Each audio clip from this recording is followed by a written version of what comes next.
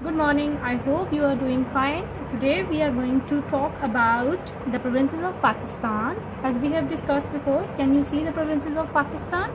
They are Sindh, Punjab, Balochistan and KPK. There are four provinces of Pakistan. Now this is the actual look of map, map of Pakistan when the provinces are all together. They give this kind of shape. This is the actual shape of Pakistan. Now, if we have to make a puzzle out of provinces, what will we do then?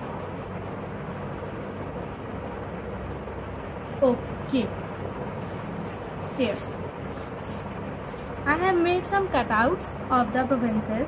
Can you see? How do we know where to put each and every province? There.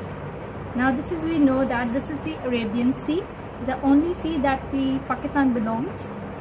There we have put the Balochistan over there in the Pakistan line with the sea and there comes Sindh. Do you think it actually suits here or we should put Punjab over here? No, this is not making any sense. I think Sindh should be here. As you can see, this is the perfect cutout. There, Sindh is here. Now, what will be next? Should we put KPK over there? Does KPK come over here with this?